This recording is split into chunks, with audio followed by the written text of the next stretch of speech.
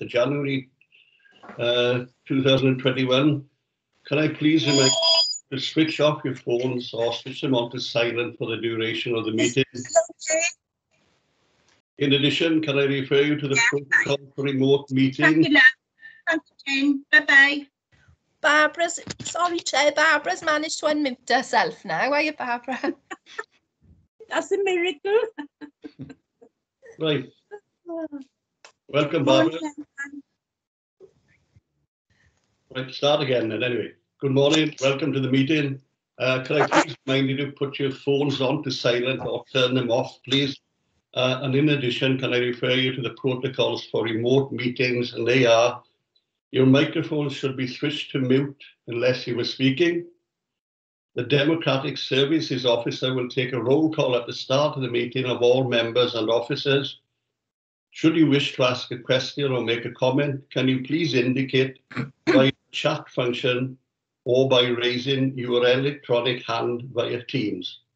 You know what that is? There's a should be a bar of icons on your screen, and one of them is in the shape of a hand. So if you wish to speak, please raise that electronic hand. And could I please ask you when you finish speaking, will you lower the hand so that I know who's wishing to speak and who's not? Uh, and before we begin, uh, can I take this opportunity, uh, although he's not online yet, to welcome our new community councillor representative, Councillor Jerry Reynolds, presently of Glynneath Town Council. Um, well, I'm Cliff Jones, I'm the chair, and I hope you know that. Uh, and Tammy, I'll ask you now if you could take the roll call, please. Certainly, Chair. Thank you very much. So present and participating in today's meeting, uh, yourself, the Chair, Cliff Jones. Present there, Cliff? Yeah. Thank you. Vice Chair, Barbara Richards. Thank you. Thank you, Barbara. Uh, Councillors Dennis Keogh Present. and Sharon Freegard. Present. Thank you. Co-optees Louise Fleet. Present. Thank you. And Tom Ward. Present. Thank you. We're awaiting Jerry's um, attendance. We're trying to get him on board for the meeting. Officers, we have myself, Tammy Davis from Democratic Services and Craig Griffith. Yes, I'm here, Tammy. Thank you, Thank you, Chair. Okay, thank you, Tammy. Okay, and, and we're for it. So um, I must ask you now, are there any interests to declare? If there are, please indicate by raising your electronic hand um, or by Teams or the chat function. Uh, and when called, please state the details. Tammy will forward an electronic version of the form for you to complete and email back to her. So any interest to declare, please.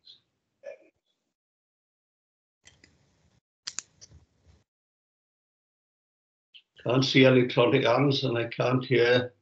Uh, just leave, there's a, there's a message here somewhere.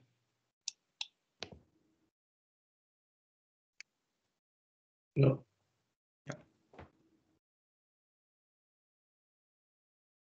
No, okay. So we'll move on to the uh, to the agenda for the meeting. Um, the minutes of our previous meeting of the 6th of March 2020 are set out on pages three and four of your uh, document bundle. Are there any comments uh, to make on these minutes, please?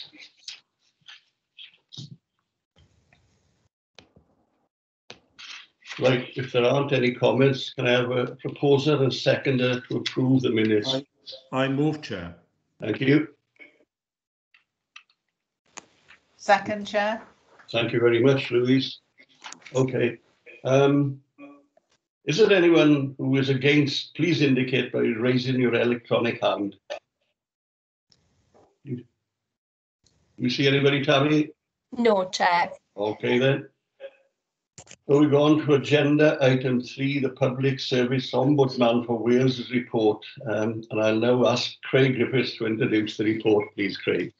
There we go. Thank you very much, Chair. So this is a report that we bring annually to every standards committee, and I, I should point out in the first instance that it relates to the 2019-2020 civic year. So going back a little bit, obviously, in that sense. And what it does, it sets out an overview as to the nature of the complaints, obviously, that the council has received in two areas: the service-related complaints, but also then our code of conduct-related complaints, then that have ultimately arisen during that period.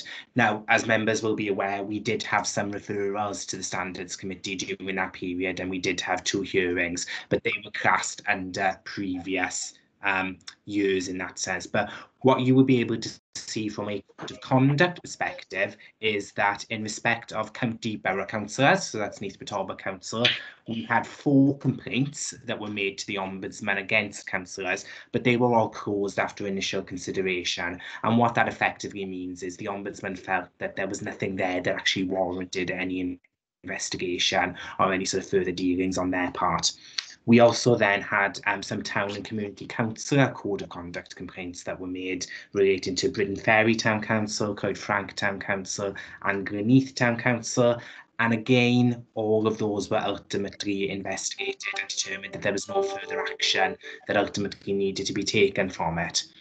What it's also obviously risen is that says we do see that we do still have a number of different complaints which have ultimately been made. So work is ongoing with council officers to try and address these, not only from the service perspective, obviously, so we can make sure that um, the, the needs of the constituents are ultimately being met, but also from a code of conduct perspective by making sure that we are continuing to make members aware of their um, obligations. We have some training now which has been scheduled for the next couple of weeks, um, I believe around the end of March on a code of conduct refresher for members. We're also going to be looking at some further guidance to perhaps clarify things about usage of social media. Um, personal and prejudicial interest is something that um, often comes up in debate, so I'm going to try and issue some further guidance notes. You may have seen more recently in the news surrounding Merthyr Council, there's been quite an active case with regards to um, code of conduct interest and not being declared. We're still waiting for the final case summary of that, which I'll be bringing into the Standards Committee in due course, but there could be some learning which we can hopefully then bring about then to um, other members. And I am still continuing to try and develop the code of conduct related matters with town councils. We have a report which is going to come slightly later where I'll talk about that in a little bit more detail. But I think it's important that given that the bulk of complaints are still coming from community councils and town councils, that that be an area that we try and target going forward. I'm also as well doing the course of this year and I'll be bringing some reports to the Standards Committee in due course as well as the various scrutiny committees looking at a review of our constitution. And that will have some elements related to code of conduct where my aim is to try and give a lot more clarity to members for especially as we go into next year local government elections where we could have some new members on the scene so making sure whether things are readily understandable practical examples are being provided and hopefully there will be that increased clarity then to members so i'm happy to answer any questions chair if any members have anything or to just to have a general discussion on any of those points Thank you, Craig. Um, do any of our members have any questions? You can raise an electronic hand or raise your proper hand or any questions? Well, that's it. It uh, there aren't any questions, Craig. It's very comprehensive. It, it is sad, as you just mentioned. That sorry, Louise. You muted, Louise. Just trying to find my electronic hand, sorry. I should have just raised it up. uh, uh, th uh, thanks, thanks, Craig. Uh, good report. Just, just really out, out of interest, uh, you said you um, uh, paragraph B on page um, eight, um, you said that you're facilitating a working group of officers to consider the complaints and and learning from fr from that. So I just wondered what uh, format that workshop is is is going to take and and what it is you're you're going to be. Um, uh, or what the focus of the workshop will be. Just a little bit more information on that, really. Indeed. So there are two specific elements that we're focusing on. There's been some recent guidance that's been produced via the Ombudsman's office with regards to complaints handling and the need perhaps to have two types of documents. one being an internal document which relates to complaints and how officers are due to handle them, but also a document to make members of the public ultimately aware as to what the complaints process will be. So one of the work streams that we've been targeting has been the preparation of that document, and that will go through the council's standard processes for approval in due course. So it will come to some of our scrutiny committees. Mm-hmm. What we've also been trying to do then as well is look at the more practical examples of learning that's come out of complaints. So the officers, for example, who deal with complaints in the respective directorates will keep accurate records of all the various complaints they've had, different issues that have cropped up, where lessons learned have ultimately been developed. And it's more of just an, an informal forum more than anything. So officers can take into account that something that happens in our environment directorate could also take some precedence in the social services directorate and just try and find learning, shared practice, an opportunity to have a discussion as to the way one officer would approach it compared to another officer. And it's, it's just about sharing techniques and mm-hmm. learning more than anything with elements. So there's no formality attached to the meeting. It's just a more general discussion where we identify things we've seen where i've had correspondence back and forth from the ombudsman and some of the elements that they are suggesting to me. If there are some legal issues that ultimately come up it's just a way of trying to bring officers together and making sure that we've got some consistency in our mm-hmm. approaches as well. So if somebody was to make a complaint to our environment directorate and they then make a complaint to our social services directorate, there's consistency in how that process ultimately follows. So general dialogue and discussion are all predominant. Yeah, no, sounds that, that that sounds very positive. Is is there a loop? Um, you know, how do you close the loop from the complaints coming in, analysing the complaints, that learning taking place, and and sharing that knowledge, and and actually then making any changes either to processes or procedures, and then you know how how is that loop closed? Is it through? What you know, we I don't know. what we what we would have normally is a general discussion and then the, the key officers who are responsible for our complaints policies will also want to be attendance at that meeting and we go away then and revisit and if we think we need to make amendments to anything we would then look at the policy see what changes are necessary and we would take it through a decision making process then. So it would likely go to our scrutiny committee and then the cabinet for final sanction so there is that member involvement ultimately in the process. And one of the examples we've seen now is we have identified some recent changes because we've seen, for example, there's been a lot of cases where um, members of the public are recording conversations. And so we've been looking at ways to make sure that staff are protected, members of the public are aware, different elements of how it's going to be used. So we've had made some revisions to the policy as a result of that. And all of that will now be incorporated in the newest version that will come to its members in um, the spring, hopefully. Yeah. Okay, that's very interesting. M- may I ask a, another question? Um, it, it, it might, I might have missed it actually in the papers, but in paragraph 13, there's this reference for the ombudsman to undertake own initiative complaints. Could you just tell me what own initiative complaints, what that actually means? As it stands at the moment, the um, for the ombudsman to actually investigate a complaint, there has to be a complaint made to him by a member of the public or somebody who is eligible to make a complaint.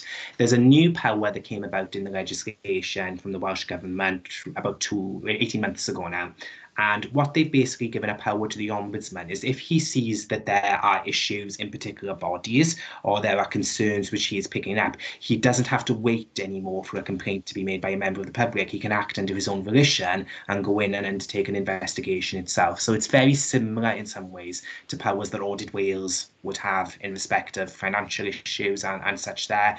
It's, it's looking at service related issues and there hasn't been any actually implemented to date from what I've seen so far, but he has indicated, for example, it could give powers to investigate health boards, local authorities, where he sees systematic system failures or a number of complaints relating to certain areas which are not being addressed ultimately by um, public bodies. So it's a much more wide-ranging scope now for him to Mm. come in of his own mission without having to wait then for those complaints to be made to him. Yes, I mean I can understand how um, you know how how these issues might he might be alerted to these issues you know through lots of complaints, but but otherwise, how would the ombudsman actually identify issues that he would wish to undertake on his own initiative? It could be through a number of different bases. Um, for example, common themes of complaints, ultimately, which are coming through in respect of certain areas. So if he receives a number of complaints against one public body on a certain criteria, that could be a basis. It could be something maybe that is reported by the press, which he feels is worthy of consideration. It could be referral from another body who has been in to undertake a statutory inspection of a regulatory issue. So there's a lot more engagement now between um, regulatory bodies where they try to perhaps encourage different people to come in to do different elements of work. So it, it's all part of just basically having that extensive power that he can target Yes. anything that he feels is ultimately relevant Yeah. um, from, from whatever source it, it derives from. Yes, that's that sounds um, a, a very um, very useful power to have because having that joined up approach where the regulators and, and other people like the ombudsman are working together, then it can be a, like a partnership approach to improving services both for the for the service deliverers and for the public as well. So so yeah, that sounds good. Okay, thank you, Craig. Thank you. Thank you, Louise. Thank you, Craig. Uh, anybody else got questions for Craig, please? Chair, could I just point out that we've been joined now by our Town and Community Councillor member, uh, Jerry Reynolds. All right, Jerry is um, using, I believe it's, I'm going to guess at your wife's email address. Is that right, Jerry? Because you, you, it says Elaine on it. You're not Elaine, you're Jerry. and you're on mute. So thank you, Chair. Thank you. Good morning, Jerry, and welcome to the meeting. Thanks very much. Sorry I'm late. Bit of a mishap earlier on. That's all right, Jerry. You're. That's what's important, and, and welcome. Thank you. All right, You- Jerry, we've just dealt with agenda item three. Um, we are dealing with agenda item three, and it looks as if we're reaching the end of that. So, nobody else has any questions on agenda three. Can I then remove? Uh, sorry. Can I move on to agenda item four on, uh, on the agenda, the grant of dispensations? And again, uh, I would ask you to introduce the report, please. Indeed, well, thank you, Chair. Um, so there are applications for dispensation have been made by two of the members. There are some amendments I just need to make to the report, unfortunately, that come in with just a few typos that we, we've picked up. So I'll just talk you through them in the first instance.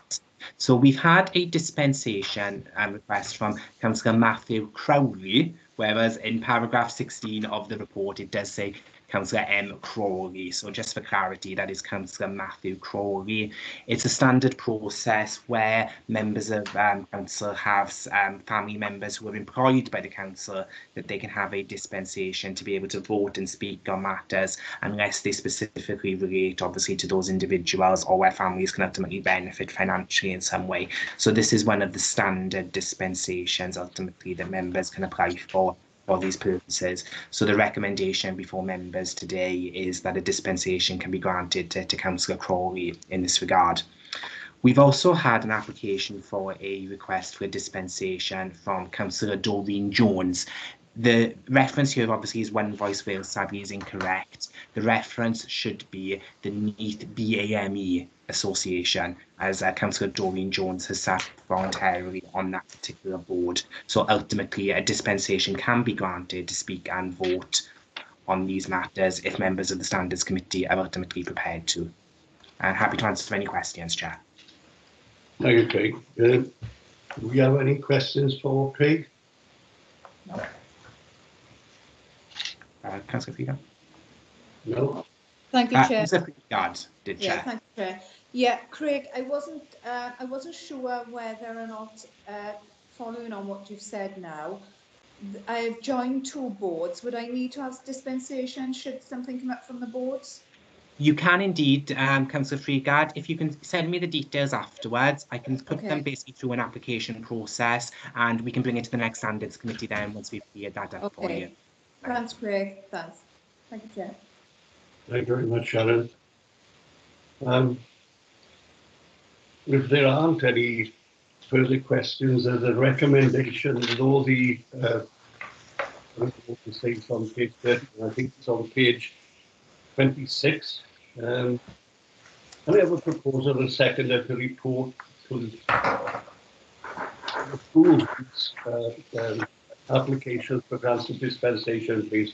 Or if there's anyone against, can you raise your electronic? I Yeah. move, Chair. Second chair.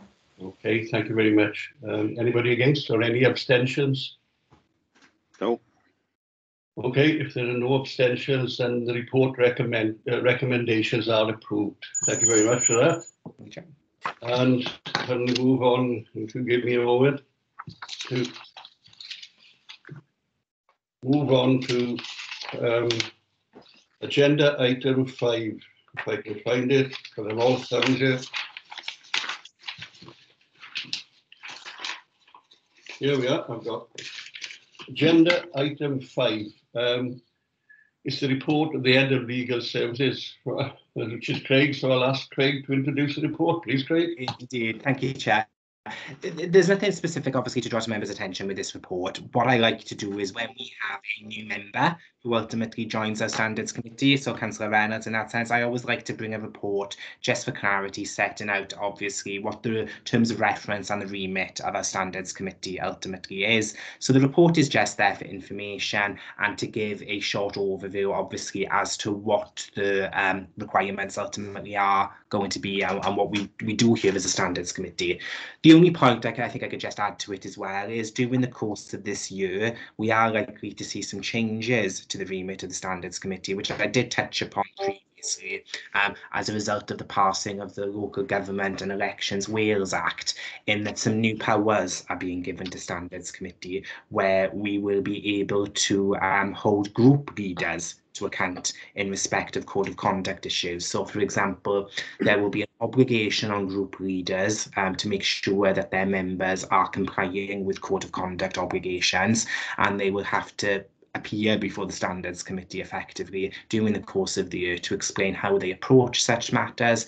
And if you recall at the last standards committee we did agree a set of questions ultimately for group leaders to consider when they do come before the standards committee. And hopefully now at the next meeting we will have our first group leader um, in attendance and we can start that process of um, the uh, asking questions obviously as to how they approach their their conduct related issues. Um, we will be producing as well annual reports from the standards committee at the same time and again in the next meeting we'll, we'll start considering in the manner in which we do that. So happy to answer any questions, Chair, in that sense. Thank you very much, Craig. Uh, Does anybody have questions for Craig and that? Jerry, you've got your hand up. Oh, yeah, just one quick question, Craig. Uh, does that mean any any of the group leaders, any of the recognised group leaders around the council could be called? Indeed, so we have three group leaders at the moment within Neath Talbot Council. So at some point during the course of the year, each one of them will appear before the Standards Committee um, to, to give that sort of overview. So of all the three parties and, and the three groups. Uh, and a supplementary, could we have them all around the table at the same time? Because that could be fun. we did discuss that issue. I think we decided previously um, we would do it on an individual basis in the first instance, so we can have that free flowing discussion from there, almost just about. Thanks. Okay, uh, Uh, please, you go. Yeah, uh, Craig, can I can I just ask then, what happens when um, members are independent? So there's no group leader for independence, is there? But certainly, you know, they. I would have thought there must be something to hold them to account as well. Indeed. So obviously within Neath Talbot, where we have an independent group of members in that Yeah. sense. So they do have a group leader in that sense. The obligation in respect of the um, under the local government elections Wales, they won't apply for independent members who are not affiliated to any particular Yes. group. The obligation is still on them to comply with their code of conduct obligations because obviously they will have signed the declaration on taking office. Mm-hmm. So it's Yeah. just a slightly different process where you have group leaders to make sure that the members of that affiliated group are ultimately in compliance then at the same Yeah. time. Okay, interesting. Thank you. Right, does anybody else have any questions for Craig on that? No. Um, Louise, c- could I ask you to take your electronic hand down? There we are, done. Thanks, Louise. Right, if there, um, if there aren't any further questions, then uh, we'll just note this report then, please. And move on to agenda item six, which is the Town and Community Council's Code of Conduct Matters. Um, and again, can I ask Craig to introduce the report, please? Uh, thank you, Chair. Um, so members will recall at the last meeting, we agreed we would send a questionnaire to all our town and community councils asking for how they approach code of conduct matters, what sort of training ultimately they put in place for various individuals and their various members. Um, we sent out the questionnaire then following the last standards committee and sadly we only received, I believe it was five responses from the town and community councils and the, the, the questions that we asked asked, obviously, and the results that we generated are then based in the report. Um, to summarise, we, we had the view that obviously they do have training. They have difficulty ultimately perhaps enforcing it with a lot of the members in that some ultimately don't attend, but as a community council, they do ultimately um, arrange those elements.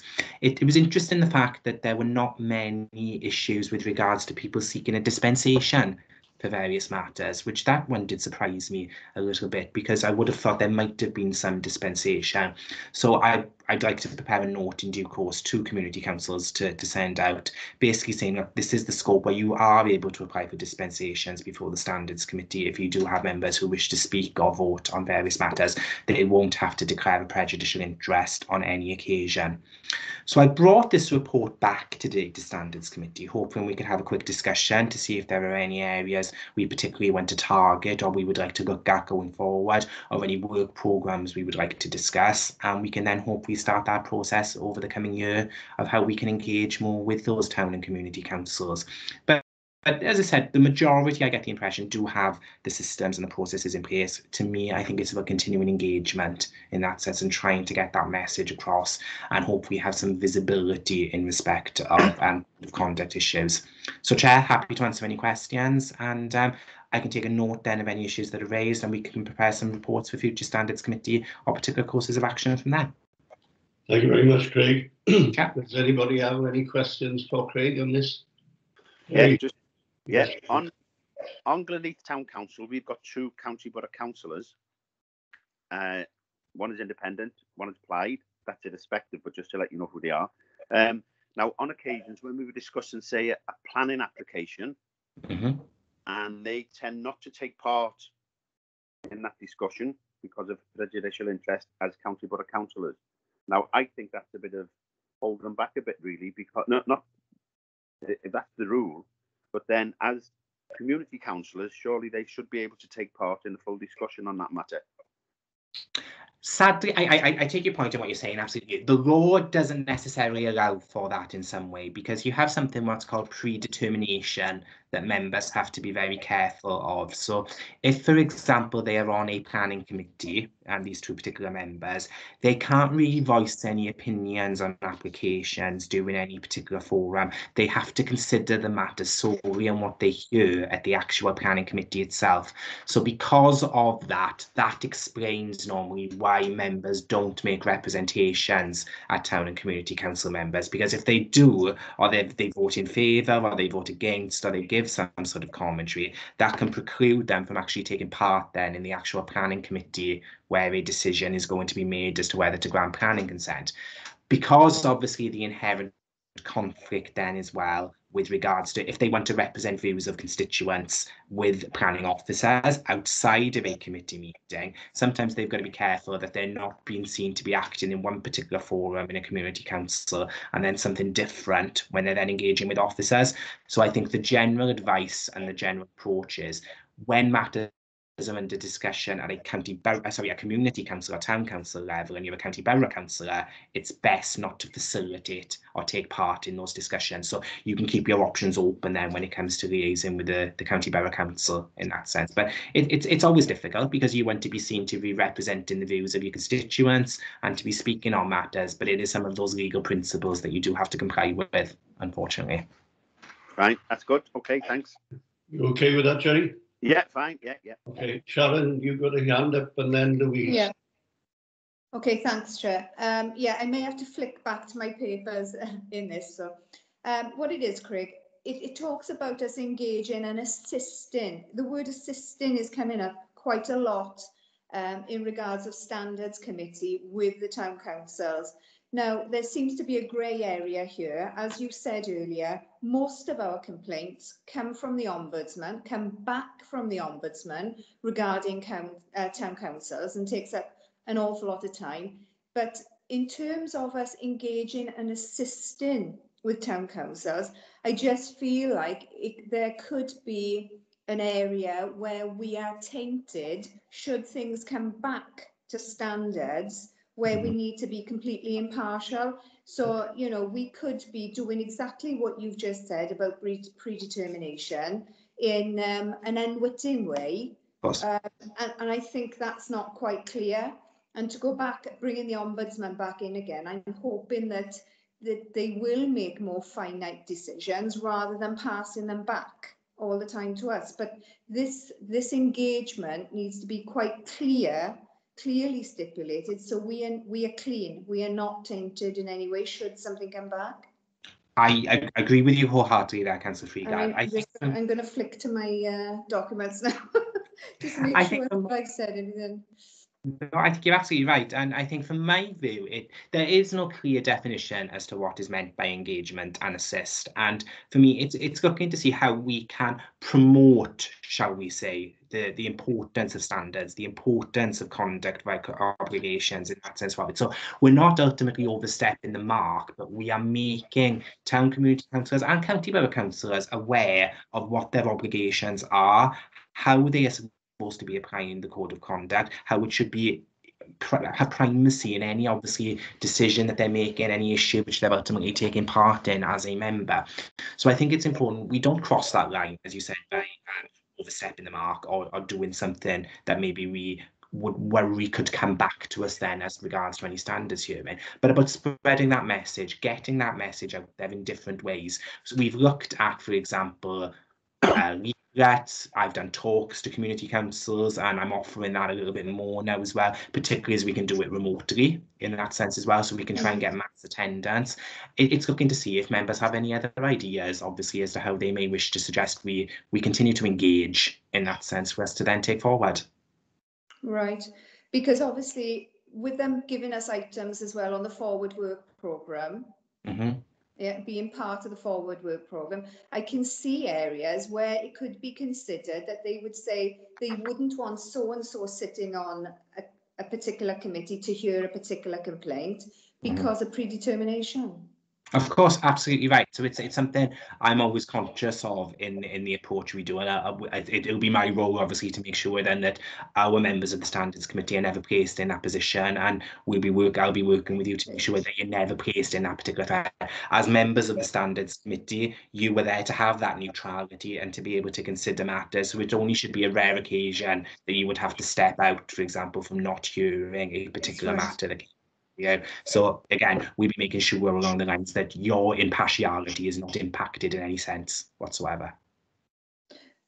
Is there any, are there going to be any changes in terms of mandatory training for town council? Because that's the key.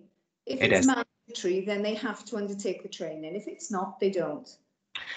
Yeah, as I said, as it stands at the moment, legally, there's no provision that allows them to make it mandatory. Um, we can look at it potentially more from a county borough council perspective. So, for example, when we start working on the member induction programs for the next elections, we are looking at those sort of scenarios about uh, compulsory training being attended to for code of conduct matters. Because town councils are able to set their own agendas and their own requirements, if they choose not to make it compulsory, then that's an option ultimately that they are entitled to go with at that point. We haven't got any way to insist upon that. It's, it seems like we're giving powers and we're not giving, we're not underpinning with skills and the training. That seems to be, you know, uh, very remiss really. And and I, I think that's something quite right. And when the ombudsman does annual reviews, and in that sense, when we do see new guidance coming out or consultations, we can bring them back here, and that can always be some representations that we can make back to the ombudsman. And if we feel it's something that, as a committee, we would like to pursue down the line, we can easily look at a recommendation or a letter go into the um the ombudsman to suggest that that maybe they may wish to consider that down the Yeah, line. I see, I think it was in agenda, either agenda three or four, it said that we do have the powers, as we have used in the past, to go to Welsh Government to go to other bodies to ensure that things that we strongly recommend mandation where it's needed. Indeed. If, if that works, then what I could look to do maybe at our next standards committee is to bring a report back on what options we could have open to us. And I could include a draft letter and we could perhaps discuss that at the meeting on, with a way of making some representations down the Thank line. you, Craig. Thank you, Chair. Thanks, Craig. Thank you. Thank you very much, Sharon. Louise, you had a question? Uh, yes, well, actually, Sharon's asked one of the questions I was going to ask. Um, uh, just a couple of observations, really. Um, we only had five responses. How many community councils do we have? Approximately. I'm going to say roughly around 14. Right. It's um, you know, well, that's that's about a third, isn't it? So It's- disappointing in terms of the of the response level that you had back, really. Um, but like you, I picked up that there were no members seeking dispensations, and that struck me as really quite odd, given you know, given how the community councillors are, are really well, they're all drawn from the community, but given the closeness of them to the community, I thought that was a little bit strange, really, for there to be none. So was was that potentially an area to, um, you know, to, to, to focus on? Um, but but yes, I mean it's um, it's you know given given you know given, given the, the the low response, yeah, there's something that we can draw from that. But with as training isn't mandatory at the moment. Um, it's a bit difficult, you know, if we're talking about engaging, how do we engage more with them or how do you engage more with them when we only have a third of them replying to a very simple, straightforward questionnaire? So I was just going through my mind, could we ask the community councils how they would like us to engage with them and get them to come back with, with, with ideas? Uh, now, you may not get a response, but at least at least you're seeking their input into it rather than as saying, you know, this is what we're going to do to you, and, and see if that perhaps, um, you know, get more a bit, a bit more of an encouraging response that way. I, I, I think that's a perfect scenario. I, I am holding regular, um, what I call town and community council CARCs forums, where I try to bring the CARCs together to discuss things like conduct or general legal related issues ultimately down the line. Um, so it's certainly something we can raise with them.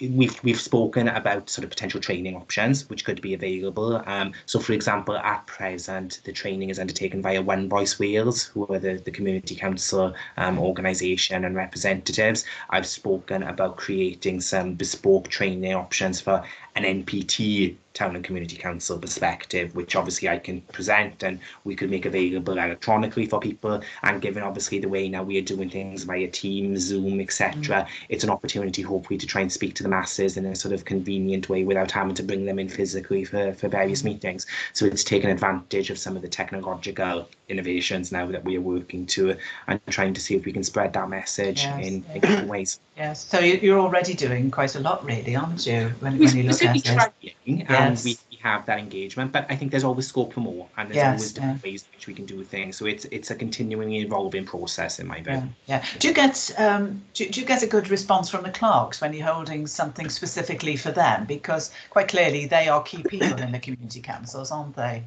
Um, I would say I roughly get about six or seven in Oh, attendance okay. on, on these sort of uh, meetings. Um, it, it tends to be the, the same six or seven ultimately. I will hear from clerks every now and then, and I've probably had a lot of contact with them during the pandemic where they've had some queries, for example, on what facilities can be open, what do they do in, in this sort of scenario. Um, so there are a core group who are very vocal and very active, and they, they we do engage a lot with them. And there are some it would just be more sporadic emails and, Yeah. and correspondence, but the, the offer is open to all of them to attend. And we we managed to create a central venue in one of our sort of um, business centres, which we can bring people in, and we it's it's about two or three hours. It used to be in the afternoons just to try and go through things. We've held one virtually, and I think I've got another one now scheduled for early March time. Okay. Thanks, Craig. Thank you. Thank you very much. Okay, does, does anybody else have any questions for Craig on this? Well, I, I did Chair, I just put in the chat box. I just wondered if clerk training, that's bound to be mandatory, is it? Again, no, because the the clerks obviously are that's separate. Um, employees or they, they, they have no affiliation ultimately with the council. Um, there's no specific qualification that any clerk ultimately can hold and you see clerks from a variety of backgrounds. I always make sure that the training, for example, that I give community councillors and county borough councillors, I will also give to the clerks, but I do it from a different perspective as opposed to telling members you have to do this. I explain to clerks how they need to make sure that their members are doing certain factors. So I call it a train the trainer type of event almost just about. So these clerks know what the basic obligations are and how they then should be enforcing them with their members. And I offer then a, sort of general advice and if they have any particular queries for them to contact me on on any related issues. But to be fair, Craig, if uh, if they don't know really the protocol or the process of how the meeting should be conducted, I can I can see how we've had so many things come coming back and coming to us in terms of complaints. So the correlation between the underpinning here of training is important because it could result in far fewer complaints. Indeed. Could I No, just Yeah, Jerry. Yeah, we've just up in Glynneath, we've just been going through uh, little, had a little bit of uh, turbulence, shall we say, looking for our clerks. Uh, up until a few years ago, we'd had the one clerk, Clive, for a good number of years. Then he left. Uh, we had a very short-term clerk who had no experience of being a clerk, and he found that a bit difficult, although he was very good for the very short time that he was there. And then we had to advertise, and we had a lady, uh, Alison from Port Call, who is now working for the council. Excellent. She really pulled us up by the our bootstraps, you know. And unfortunately, she left for a full time job with Nick Talbot. And we had a deputy, we've got a deputy clerk now who has been an experienced clerk in a small uh, community council in England, and she's doing an excellent job. Uh, when we advertised most recently, we did put lay down an expectation that they would undertake the is it the CiLCA qualification for local for community councils. Um, we advertised with that organisation, but we didn't have one one response. Uh, we did advertise through One Voice Wales. We didn't have one response. I think we've just gone open again now, and we've got about ten applications, ten applicants in. But what the what training they've had, or what the backgrounds are, eh, we've just got to suck it and see. And if there's no, if, if the, the nature of the um, and the size of the community councils, I think that makes, or the parish councils or town councils, whatever you call them, that makes one heck of a difference. I'm also on a council in Powys, for a Stavelta Community Council. Totally different kettle of fish to Glynneath Town Council. Absolutely totally different. What our responsibilities are, how the clerk works. She's also the clerk at about two or three other parish councils, I believe. And uh, it's it, it's such a wide variation of expectations on the councils that um, one one how can I say one qualification or one criteria doesn't fit all councils because of the, di- the nature and size. Just one of those difficult things. Mhm. Thank you, Jerry. Louise. Uh, yeah, thank, thanks, Chair. Uh, it was just going through my mind that uh, I wonder if there's any mileage in encouraging community councils to look to uh, Petoba Council for Voluntary Services in terms of the courses that they put on. And I'm just thinking of generic skills. So, for example, chairing skills. I'm pretty sure CVS would do those kind of courses because, of course, you know that they will be putting them on for the voluntary sector and community councils are volunteers as well but they perhaps might be receptive um, if uh, you know to going to the cvs to do those kind of courses which would uh, increase their skills without uh, relying on the council or without the council uh, sort of saying, uh, you know, these are the courses I, you know, appreciate not from the more uh, particular aspects like conduct, but certainly for those generic skills, I just wonder, could could you perhaps, as I say, encourage them to look to CVS to see, or actually ask CVS what they could offer the community councils, and Right. could they do something particularly for them? And you, you know, we may find that might elicit a better response. Just a thought. I That, that no, that that's a very good. It, it's not something I've given consideration to. I will make contact with our representative we we have in in CVS. I do speak to them quite often, and I ask that question. Thank you. No, that's a very helpful tip. Thank Yeah, you. yeah. Okay, thank you, Louise. Could I Thank you, just- Craig. Sharon? Yeah, can I just come back on that? I, I think I totally agree with Louise on on that, but I would say that our time as a committee largely spends a lot of time on the complaints. So in terms of the code of conduct and the way um, the things that people can and cannot do should be made mandatory for clerks. And it's our responsibility to ensure that some organisation somewhere makes that mandatory for them. So they're guiding, they're able to guide consistently and coherently amongst all town councils in the same way, you know, going through meetings. And then we would have far fewer complaints coming back to us from the Ombudsman. What I would propose then, Councillor Freegard, if, if the committee would be happy with this, is if I mentioned we would bring a report on the next occasion to look at some representations to Welsh Government or Ombudsman, I'll make some contact with One Voice Wales and our sort of liaisons there, and I'll ask them what criteria, obviously, what qualifications they insist, obviously, for clerks with certain skills that are needed, what is available to it, to try and get their understanding of the various options out there and um, to see then obviously what mandatory training they insist or they provide ultimately to community councils in that regard. So I, I'll try and get a bigger picture as to what those issues are so we can have perhaps a more sort of um, conclusive and more accurate debate then on those options which are there and we can make a discussion then how we can feed that back in, in representations to Welsh Government, the Ombudsman and other bodies potentially. Okay, thank you, Chair. Thank you, Craig. Thank you, Sharon. Thank you, Craig. Um, anybody else? Well, I think this item of the agenda has generated more, uh, shall I say, excitement than any of the other agenda items. So There genuinely is an interest in uh, town and community councils and their conduct. Uh, we perhaps can consider town and community councils, we all have our perceptions perhaps of um, of, of the way that business is conducted in these councils. Uh, tolerance doesn't mean acceptance. If there are a number of complaints generated by town and community councils, then we as a standards committee have a duty to uh, to do what we can do to reduce that.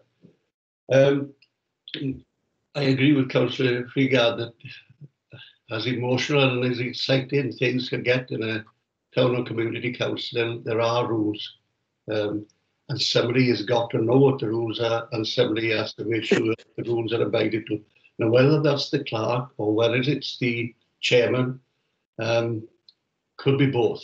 Um, I've heard the stories and many of us have heard the stories of the way the chairman are elected. It's almost, it's my turn, so know, perhaps not having the gifts of chairing is just simply it's my turn, so I'll have the status. Perhaps that uh, we ought to recognise. Um, and the other thing is, of course, the, the political differences, perhaps, which are a little more highlighted at that level. I can think of the community council not too far from Leith at one time was, quite honest, quite disgraceful in their conduct all over political differences. Um, now they're there to represent their constituents and that locality which they represent, not have political battles. Umpteen things I can think of that we as a standards committee can be more proactive about and get involved with town and community councils and doing our way through Craig. Um, what we can do to advise them that you can get as excited and as emotional as you like, but there are rules. It's like a game of rugby. You can get very emotional and excited about things like that, but Nigel soon puts you right. We need a Nigel perhaps on the on town and community council. Anyway, that's my little bit. There's Dennis, you've got your hand up. You have a question, Dennis? Thank you, Chair. Yeah, um, as a county councillor, and we county councillors are governed by a very strict set of rules. Um, our members members code of conduct is one, which guides us on what we can do and what we can't do. But what I, what a concern is that these community councils inevitably will come under the umbrella of Neath Port Talbot County Borough Council. So what they do reflects on us as a council as a whole, because the public out there don't understand. They really don't understand, you know, the difference. And the thing is, is that, okay, we're here to make rules, or we're here to guide people. So why can't we as a council say to our community councils, look, this is the way it has to be done, and this is the way it will be adhered to, as we councillors, county councillors have to do, because we're governed by law. You know, just a thought. Thank you. Can I come in quickly again? Uh, uh, probably since I've been back on the council this time around, we did have uh, we have had one or two quite stern notes from the chief executive of Neath Port Talbot County Borough Council because of the way things were going up in Glynneath. I make no bones about that. We that that has happened. I don't know how the chief exec got to know about those things going on in the council, but he certainly did respond to them, and he said, you know, you better pull your finger out and wise up a bit, to put it bluntly. And uh, and thankfully, that's what has happened for, for many different reasons. Uh, I think the politi- politicalisation, certainly on our council, has gone out of the window a little bit, which is a very, you know, a, a very good thing. Um, and it's, it's it's more for the individuals. I think we're in a healthier situation than we are now, but we've had to go through some pretty rough times to get to where we are now. You know. Yeah, I'm sure, uh, Jerry, that, that, that that's what does happen. That, uh, as I say, you can get as excited and emotional and raise voices you like, but there are rules that you don't. And because once you start not abiding by those rules, and you are not doing what you were um, there to do, to represent your constituents. You're getting more interested in members of that particular council. I'm not doing a very good job of this, but I think that the number one priority is you are there to serve those that elected you. And you do that in a manner um, which generates respect from those that elected you. You don't want to be appearing to, uh, to your electorate or to others as being not competent to do that. Right, I got that off my chest. I'm feeling better now. Dennis, you, your hand is still up. Do you still have a question or have you forgot to take right? Thank you, Dennis. Any other questions?